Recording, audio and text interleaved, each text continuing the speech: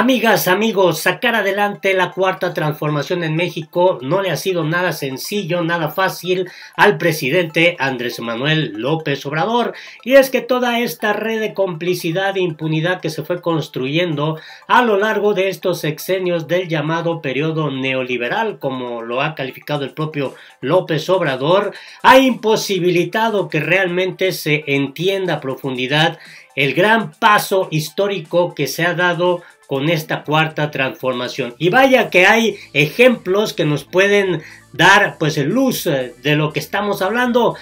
Carlos Loré de Mola, un periodista caracterizado por eh, ser prácticamente antagónico a la cuarta transformación, y Broso, este payaso tenebroso que pues de alguna manera también se ha convertido en otro asiduo crítico de las políticas de Andrés Manuel López Obrador. Añoran los lujos, es increíble, no aguantan ya que ahora pues haya acabado todas estas dádivas, todos estos beneficios en el gobierno de la cuarta transformación. Hicieron una burla, hicieron mofa del tema del avión presidencial que simboliza los excesos, los lujos, las extravagancias de lo que hacían los expresidentes de México. Quédate a conocer todos los detalles.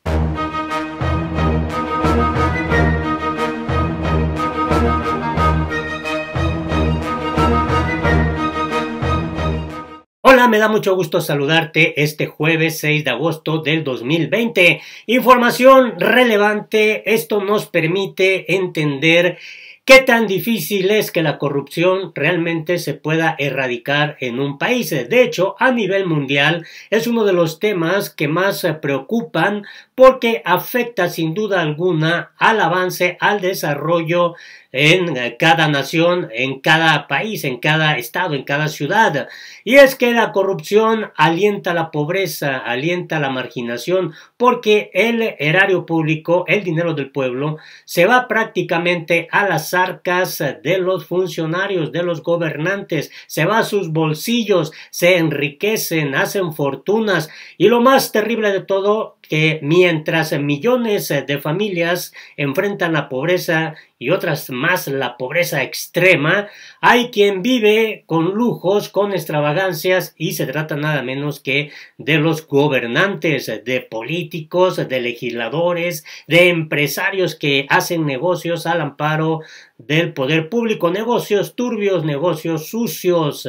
Y ahí, en este escenario, cuando la corrupción es alentada desde la cúspide del poder eh, público, desde el propio ejecutivo, desde la presidencia de algún país, cuando el presidente, el gobernante que está en la cúspide del poder, comienza a utilizar todo eso para enriquecerse, el único que sufre es el pueblo. Y vaya, este escenario nos permite entender lo que está pasando con el avión presidencial, este avión que adquirió Felipe Calderón y que utilizó Enrique Peña Nieto, ambos expresidentes de México, uno del PAN y otro del PRI. Y es que el tema del avión presidencial se ha vuelto polémico en territorio mexicano. López Obrador ha dicho no me subiré al avión presidencial, de plano no quiere pues eh, compartir esos lujos, esas extravagancias que hacían los expresidentes de México. Y resulta interesante porque López Obrador ha dicho que el avión presidencial es una muestra de los excesos de gobiernos neoliberales. Esto llama mucho la atención porque hay que recordar que López Obrador pues inició una rifa para este avión presidencial que también le generó muchas críticas y fue un tema polémico, pero eh, sin duda alguna ha sido congruente en no querer ser parte de toda esta corrupción y el avión presidencial simboliza todo esto que la cuarta transformación quiere terminar. De hecho, también López Obrador eh, recientemente dio a conocer que en esta rifa se han vendido alrededor del 25% de los 6 eh, millones de billetes para la rifa del avión presidencial. Y bueno, hizo aquí una referencia de qué tan pequeño se veía él a comparación de este lujoso avión presidencial.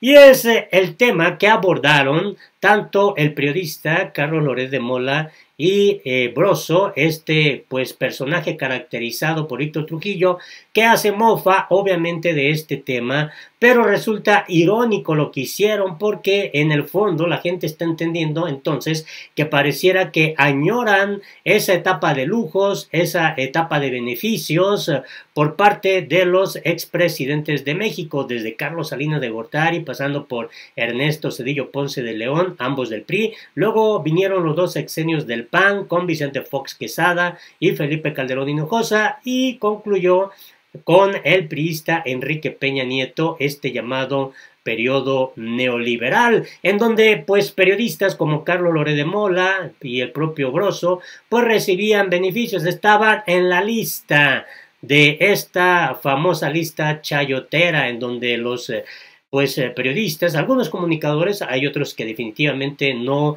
entraron en esa dinámica de recibir beneficios del gobierno federal para enriquecerse, para tener privilegios, para tener lujos, para tener extravagancias. Y bueno, en este tema vamos a este hashtag a través de Twitter que se dio a conocer y que obviamente ha llamado mucho la atención y hay una, pues, eh, ahora sí que una guerra, algunos a favor de lo que dicen estos periodistas y otros que están en la defensa de la cuarta transformación. Lo cierto es eh, que Andrés Manuel López Obrador volvió a insistir en que el avión presidencial prácticamente simboliza todos los lujos con los que también los expresidentes de México les gustaba pues eh, vivir la forma en cómo hacían también ese modus vivendi, aprovechar el erario público para eh, pues hacer todo tipo de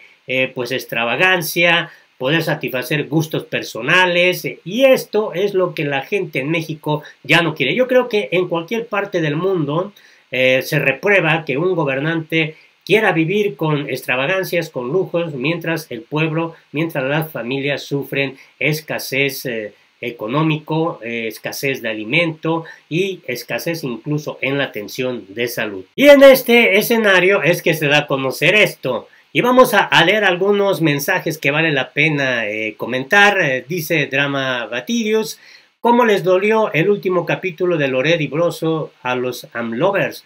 Si bien dicen que la verdad duele y no importa qué tantos otros datos tengan la verdad, no deja de ser verdad. Broso es experto en política y Lord Montajes, es decir, Carlos Loret, experto en corrupción.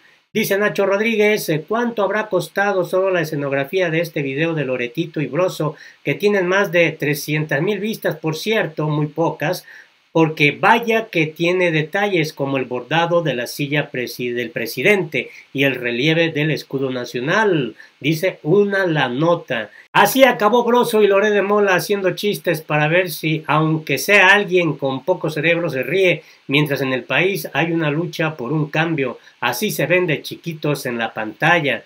Y bueno, ¿a qué se refiere todo esto? Veamos eh, parte de este video que ha llamado mucho la atención en México y dice, le quedó grande el país, el palacio, el avión, hasta el Jetta le queda grande y no se dieron cuenta. Y bueno, esto es lo que comentaron. Vamos a, a, ver parte de este video porque la verdad que, que sí trataron de hacer mofa ahí, haciendo ironía de Andrés Manuel López Obrador, presidente de México, eh, que el avión estaba muy enorme y que él se veía muy chiquito.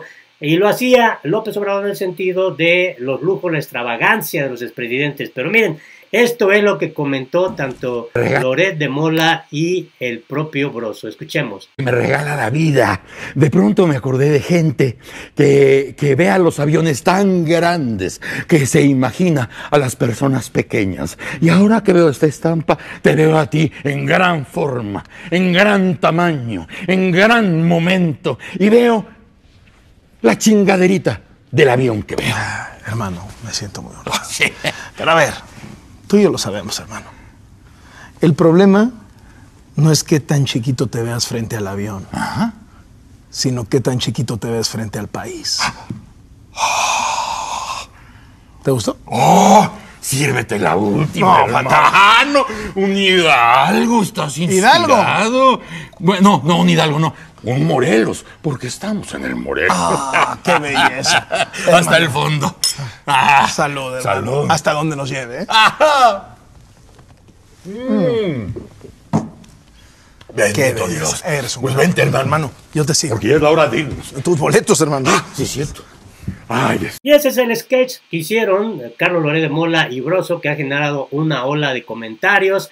En corto, Broso es el payaso más machista que cosifica a la mujer para sus fines eh, de chayoteo. Bueno, cuando habla de ese personaje, la reata, y hace uso de una mujer con pues vestimenta diminuta y en su programa que ha sido fuertemente criticado por todas las mujeres feministas. Y dice Cristian, Pituca y Petaca no, son Loret y Broso exiliados del país porque no recibieron el chayote acostumbrado del gobierno y ahora están en busca del hueso. Estos dos son representantes de la corrupción y del podrido sistema que se está desmantelando. Que sigan lejos del país. Y dice Jorge Amando Rocha, la relación con Andrés Manuel es como estar pedo, dice Broso. Así andan en este sexenio, dolidos, melancólicos de los presidentes pasados, desorientados y hasta refugiados en el alcohol.